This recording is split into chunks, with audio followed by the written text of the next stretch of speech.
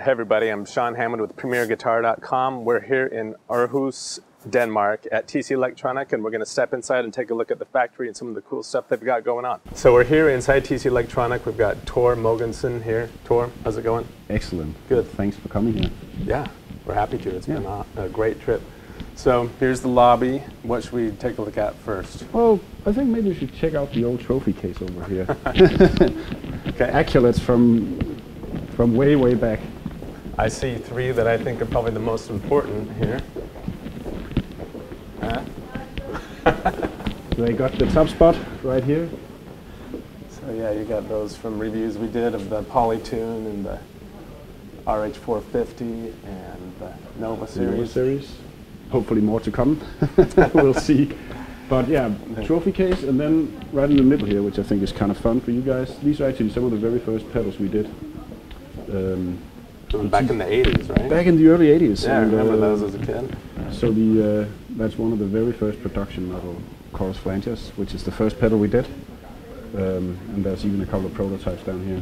We don't make a lot of these anymore. We do make the chorus flanger here, um, and we actually make it in-house, so you'll get to see the production. All right, Tor, so we're heading down here to the production line, right? We got Yeah.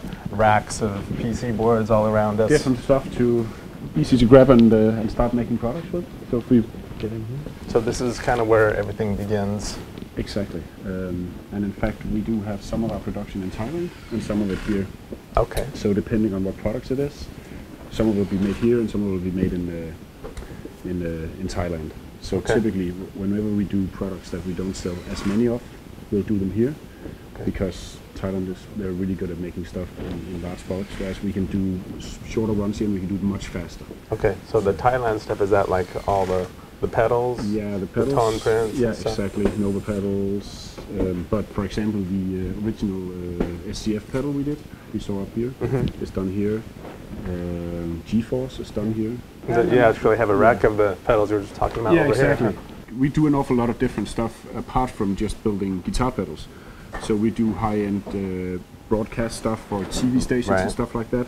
So if we get a large order of say, you know, 40 or 50 of these for Chinese TV or whatever, Mm-hmm. we can do those, build those really fast and have them tested. So that's what you see here, for example. And we have all the internal test equipment here as well for that. So the stuff being built here at these individual stations is everything from um, guitar rack gear Yeah. to um, like the G Factory, I mean The G-Force. G Force Yeah, yeah. stuff, and then studio processors. Studio processors, we also do uh, Blacksmith, our high-end uh, bass, bass, uh, bass head. yeah. So the big, big one, 1500 watt one, is built here as well. So it's different things. So down here, this is like a That's- whole battery of tests, of different kinds of Yeah. tests for the circuits, right? You want to Yeah. explain what happens first? Well, basically, we have different test cabinets. So we have some heating test cabinets, um, and we have some that basically runs through some different test programs. So every single product we do has a hidden mode inside that you can access, and once you do that, then it can basically run through a sequence of stuff that tests whether the uh, pots, if it's a pedal or something like that, can go to the to the uh, to the values that we the want to go. Um, uh, it can check whether all the LEDs are okay, if something's broken, or you know, basically anything. And you have audio running through as well, so we can test whether the audio is actually fine. Um, Which, which one happens first? uh, basically we do all the programmed stuff about you know whether the pots and the LEDs work fine first, and then we can actually we can heat them up and check whether it works fine if they're. And is that this one? Uh, that's this one over This there. one? Okay. So there, it's different things for, for the different, and basically what we have over here are then things you can mount in so that certain, you know, certain parts fits into the smaller ones down here, and certain parts fit into the bigger ones. So these are like rack modules. Exactly, exactly. Are, are these more of the like broadcast Yeah. stuff that goes yeah, in here? Yeah, Okay. exactly. And then down here, what do we have? Oh, let's see here. This is the heat. this unit, the right? heat. This the heating thing. So you put them in here, and this goes up to. I can't remember how hot it gets actually. I think Um, they said earlier like 50, 50, degrees yeah, Celsius 50, or yeah. something, which Fahrenheit. I don't know what that's uh, Fahrenheit. That's, I think uh, they said it was close to like 150 degrees. Yeah, Uh, uh, someone's gonna have to. Someone's gonna correct me. They're gonna get online and look at the difference, but it's hot. Okay. Oh, that's going to be like a little sticker in front of this right now saying it's actually 160 Fahrenheit, something like that. Yeah, but it get, it's not like we're not trying to melt the products here. We're just trying to Right. get them like this is the most heat you could possibly expect. So if you're doing like a gig in the middle of the Sahara Desert, then Yeah. you know it's not going to be much more hot than that. Well, and someone was saying earlier, you guys are actually doing a lot of new work in Dubai with clients Yeah, there exactly. for some of your Yeah. broadcast Yeah. and pro audio stuff, and it obviously gets pretty It hot. gets there. pretty hot, and the other thing is, of course, that one thing is how hot it gets outside if you're standing in the baking sun. Yeah. But if you have something in a rack space, Yeah, and with a bunch enclosed, it stuff. can actually get a lot hotter than that. Yeah. So, so obviously we need to test for that as well. After you put the stuff, the rack units in here and subject them to high temperatures, Yeah. the computers go through and analyze which part of the exact component in the circuit that is failing. Is that right? Exactly. So if we see something that's wrong, or you know something that doesn't act up the way that we want it to, or fails completely, we can see it here. And we have different softwares for different products. So, for example, right here you can see the little icon for the G-Force. So you'd run that program with the G-Force that's in there, because then the, the system knows that that's you know that's the circuit layout and the input and output configuration that. Uh, for that particular product, because it changes obviously for every single one. So if something fails or one part is maybe it has only two leads on it and it somehow got put in backward or something, it will tell you exactly where it is. You don't have to go around with a bunch of probes and see you'll, which. you'll know everything. You can just take it back to the line, desolder it, Yeah. and in right, and Exactly. So it makes it a lot easier. And Very obviously, handy. we, we do the same thing in, in Thailand as well, but uh, Mm-hmm. it's just necessary to make sure that, that everything works properly. after the battery of tests and those uh, racks with the heat and the circuit analyzers and stuff, everything comes in here to Anders, and you check all the stuff that a machine can't really Yeah, test that's out, right? that. yeah. So uh, we're testing Yeah, all the products from an from an audio point of view here. So I'm hooking up to my test equipment and controlling that it communicates with the products that it should Mm-hmm. digitally. Panel and the knobs are working the way they should. No Going to the proper yeah. maximum and minimum points. And Yes, something like that. And uh, well, uh, as for the floor products, the, the pedals, we knock them around a bit to check that they can take some beating And because-. Because we Everything can as well. Because we can, yes. So everything that comes in here, you whack on this table, well, uh, not the more expensive stuff. or the stuff that will probably break the table. Yeah, probably. Tor, so in here you guys have a, a whole recording setup. Yeah, I mean, uh, we've our background, apart from starting by making pedals, we actually moved into focusing mainly on studio stuff for a long, long time, Mm-hmm. and then we got back into pedals. But uh, we built the studio when we were like big into doing rack stuff and Mm-hmm. uh, reverbs and things like that. So we have a really neat studio here.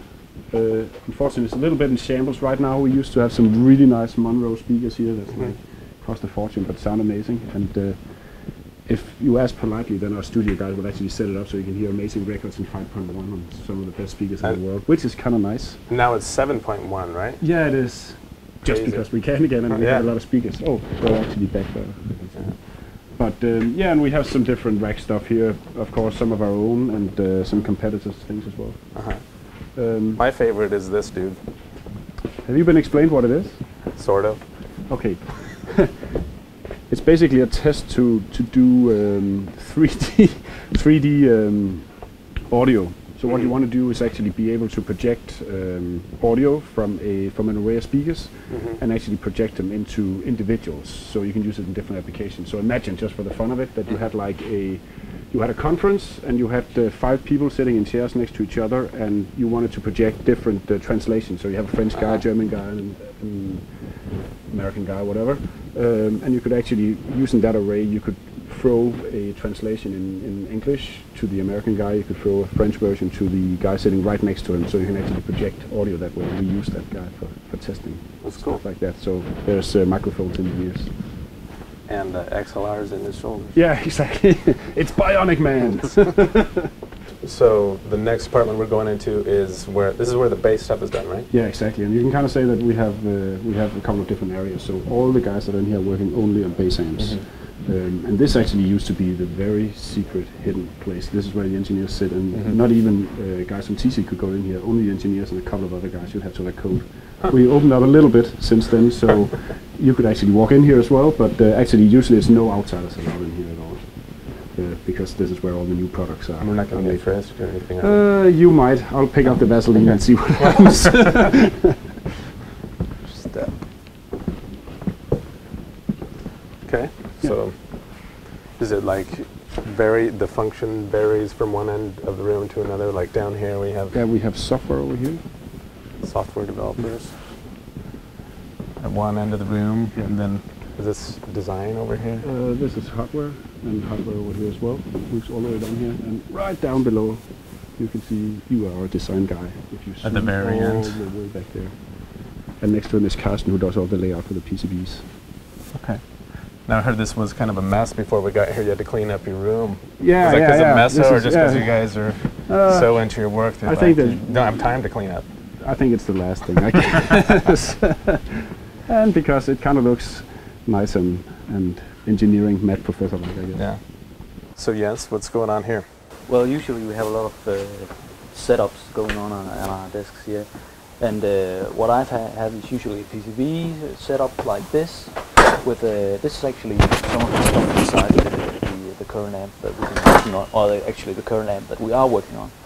Uh, with the with the main board, the UI, and some debugging stuff, so I can connect this stuff to my computer, and then uh, I can develop the software directly on target here.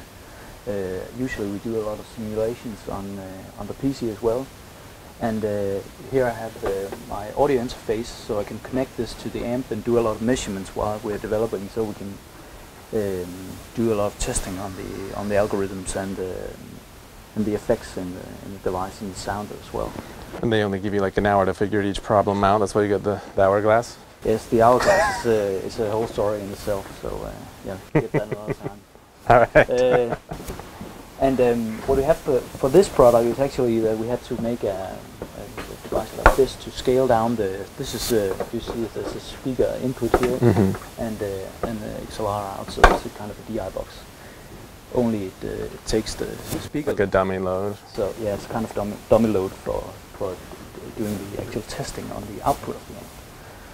But Okay. But um, but Johan, uh, my buddy over there, and I, we uh, we do uh, yeah basically all of the of the software for the amps, uh, both the DSP part, uh, the the effects implementations. Uh, and uh, also the, the housekeeping. We have a housekeeping processor on board as well to do all the UI stuff and all that. We do the programming for that as well.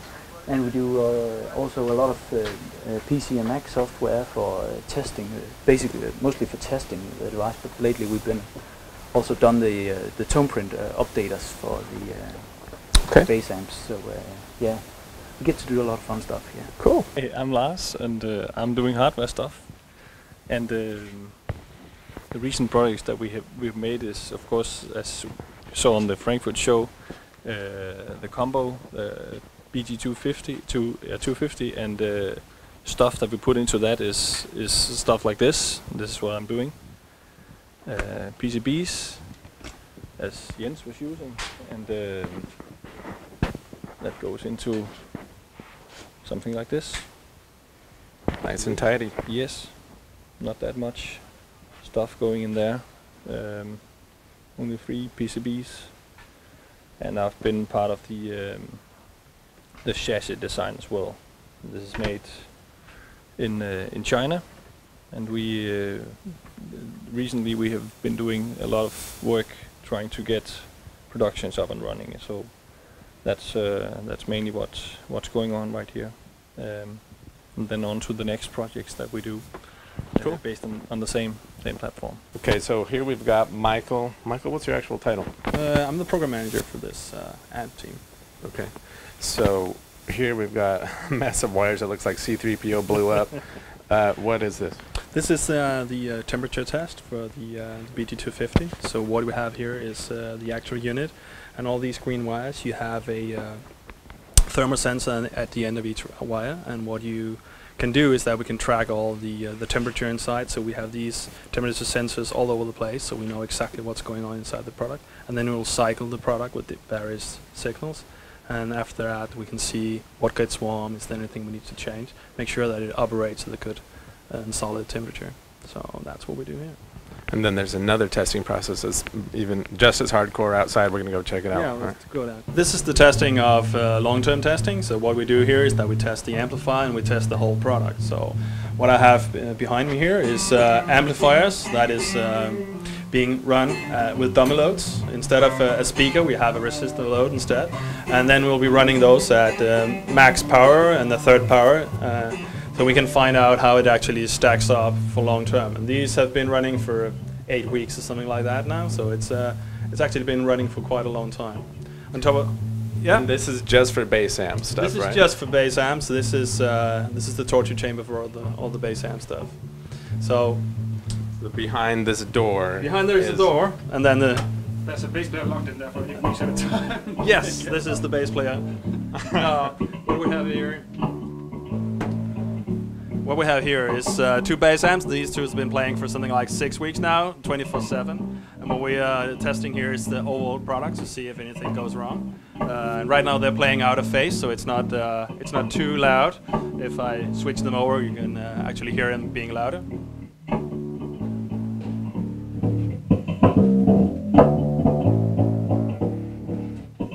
So these stay in here for 60 days, you said? Six weeks. Six weeks, And they'll continue to stand here until something breaks down, and we'll, we'll analyze what breaks down. You guys have another, yet another, Yet another. testing area here. Tell us what's going on in this contraption. Yeah, this is the uh, the climate chamber where we uh, can do tests where we can cycle temperature from minus 20 degrees Celsius and up until plus 50 degrees Celsius. So what we'll do here is we'll take the products in here and then we'll test them, go, take them down in temperature, then then take them back up, maybe add some moisture in the process so we make sure that any condensation or anything like that doesn't break the product. So we can do this.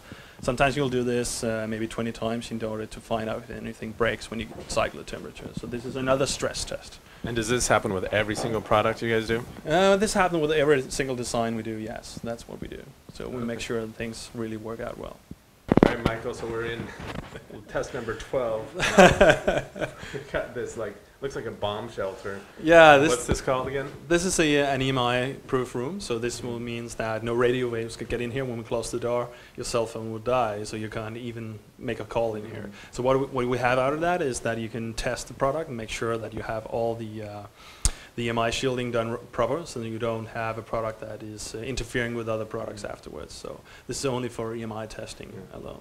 Do you have any employees you have to send in here sometimes because they can't get any work done? They're always on their phone? Yeah, th- th- and, and that makes them cool down. Yeah, it works pretty, pretty well. Now we're in the guitar department, right? Yeah, this is Guitar Command, so this is where I hang out a lot when I'm not in marketing. Um, and right now we actually cleaned out a lot of our stuff. We used to have a lot of amps and stuff in another Mhm. place, and we're moving that. So right now it's kind of in, in storage right here. Um, and yeah, if we go down here, we can see the entire guitar team, even though it's a little bit deserted today. But um, Because they're recovering from Musikmesse. yeah, exactly. Yeah, they were all down at Musikmesse actually, Yeah. so they are. Um, so we have hardware, we have software guys down here, uh, design and testing. Yeah. So everything that's done guitar-wise is done right here. And just on that point about Musikmesse, it's been two days since Musikmesse Exactly. ended Saturday, and you know everyone had to get home. So the people who are here are just They're the hardcore extra guys. super hardcore dudes. Nikolai, so what are you doing here? Well, I'm doing uh, mechanical design and uh, industrial design. So that's all the mechanical parts of the of the pedals, from uh, the windows and polytune to the allo mechanical parts. Pretty fun. Yeah, I understand you guys are working on something super secret. yeah, we always are. That's right. We won't ask. I know you'd have to kill us. We would. All right. So, uh, anything else you want to tell us about what you do, or Well, uh, aside from designing, I'm doing all, a lot of testing every time we have a sample of uh, of a part for for a product. We do testing of the quality and so you source the actual component and then you how do you test it? Well, we have that. That depends on what we're what we're going to test. But we, it's right now. I'm testing Windows uh, for the Polytune and Polytune Mini. Mhm. See if they comply with the quality standards. Do um, Do you like use a hammer? yeah. So, sometimes we do. Yeah, sometimes we do. Actually, uh, e- extreme test stuff. someone showed us. Is it that piece of wood with the duct tape around it that we saw in another room earlier? Well, that's Anders doing the, uh, the testing room. He's just Oh, that banging. was Anders too. Ah, okay. okay. Yeah, I'm doing doing. Uh, um, this this is an SLS uh, um, 3D printed prototype of uh, of the Polytune. So this is way back from before you released the Polytune. You're, Exactly. you're not redesigning the Exactly. Polytune or anything. Exactly. So we have like, and also uh, the tone print pedals. We had done like uh, 3D models of that to assemble it and test that everything works as it as it should. Okay, cool. So Christian, you do what again? software for uh, pedals mainly, Okay. and it's uh, signal processing. That's that's the, the typical work for me. We Yeah. are we are four guys doing that kind of work here. The others are in a meeting right now. So you've Um, got dual screens of programming Doom here. What what language do you guys usually use for your um, software? uh, C, C++, and um, some assembly too. Okay, so Mike is not here right now, but we have uh, we have a guy who does nothing but testing the products in Mhm. a user sense.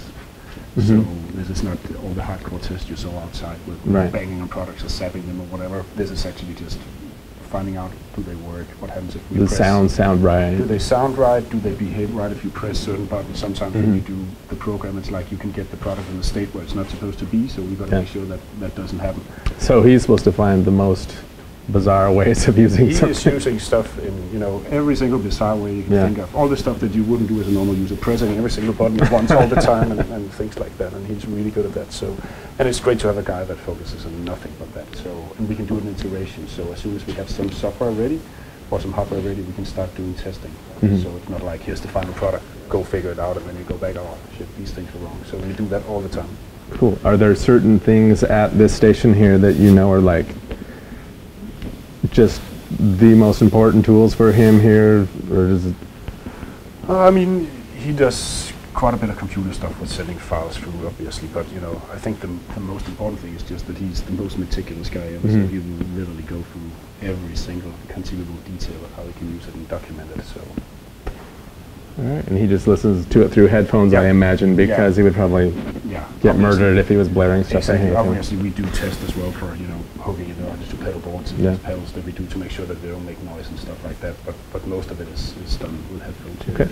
So one of the really cool things about working here at TC Electronic is you guys have this amazing, well, kitchen. You Yeah. employees get breakfast and lunch. Exactly. We don't have to do anything. And people pay a pretty reasonable fee every month to be able to come in and eat breakfast and lunch and just a great variety of stuff. We, we sampled it today. It was really good. And then afterward, uh, you got a cool break room here. Yeah. And you got, the of course, of the most course, important place. foosball. Foosball, and somebody broke it. We have one, one loose handle. That's really annoying. So they were Yeah. taken to the base testing chamber for Yeah, punishment, for, right? yeah, exactly. For a week. And the thing is, it's dangerous. We have this table for like five, six, seven years now, and there's some guys out here.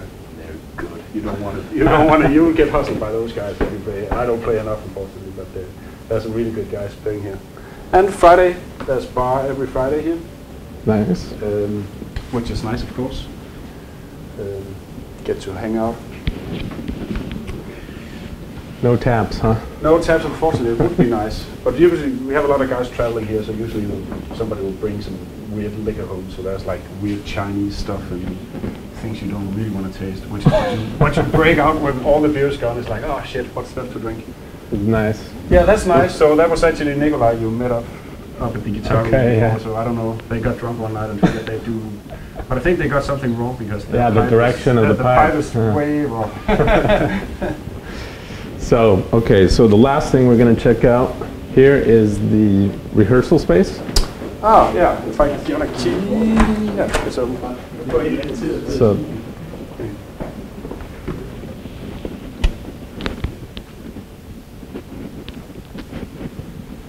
so this is where you take all the bass gear Exactly. to see, to actually sit and listen to it Yeah. blare instead of having it in that isolation uh, trailer thing outside. Yeah. So for example, with the uh, with the blacksmith, which is this 1500 watt beast, Yeah. we did a test for the uh, for the matching cab to see how much power it could hold. So it's like turning it up full blast and just playing for a couple of hours until you know everything was rattling. And the unfortunate thing is, right across us is the whole administration. So they were cursing that day. It's like we can't work here. But you do what you got to do, I guess. You guys have gone to great effort to make it look like a real rehearsal space. There's not really Yeah, enough beer bottles yeah, or we just cigarette need we just need a drummer to lie to you to sleep because he got evicted from his apartment stuff like that. Okay, so Tor, what do we have in this room? This is internal sales. So basically, we have a setup where we have a bunch of uh, of sales guys in Europe that sell nothing but our stuff. So we don't have Mhm. distributors. We do, but not in the most of the European countries. So whenever they have an order from a dealer, they phone it in here, and then we have uh, internal sales people that talk pretty much every conceivable language known to mankind. And when Uh, people call in, I understand there's like a, it tells you where the country, what country they're calling from so that the right person knows to answer, Exactly. right? So it just goes straight to the person who knows that language. Cool. Um, Then- and then behind that door we have uh, support, so even more different languages being spoken in here. Uh, so these guys basically do all the support for us. So if you call in, or Okay. if you write on our support website, you will get in touch with one of the guys here. So Christian is over there. Basically, what we do is we, we do tech support for all the products in the TC um, TC Group portfolio for Europe. That could be anything from users who can't figure out how to use the Polytune to some of the big production systems that people need assistance with. So they usually write in or they call in, and um we just have to to get it to work. That's basically it. Cool. Got any horror stories you want to share? horror stories. Well, there are some users who are perhaps a little bit more difficult than others. I think. I think one of one of one story that sort of springs to mind is an English guy who called in and he had a Helicon pedal, and he said every time I turn it in, this horrible whiny high-pitched noise comes out of the speaker. And I thought, okay, stop singing. Try another singer or something, but you have to be polite sometimes. That can be a little difficult. And of course, you guys have a whole FAQ site where Yeah, people can go yeah, to. yeah. Probably your number one message you want to send out to everyone is to actually go there and read it instead of just emailing you first thing, right? Yeah, exactly. First thing of all, if you if you write to us, you'll get an auto reply back with a link to some of the FAQs in it. Please check them out because they're not all nonsense. They actually, I think 98% of, of the uh, of the emails we get are actually entered through the FAQ system. So the last remaining percent, like 400 or 500 a week or something, is stuff that's not covered by the FAQs. So, yeah, please check it out. Cool. Thanks, guys.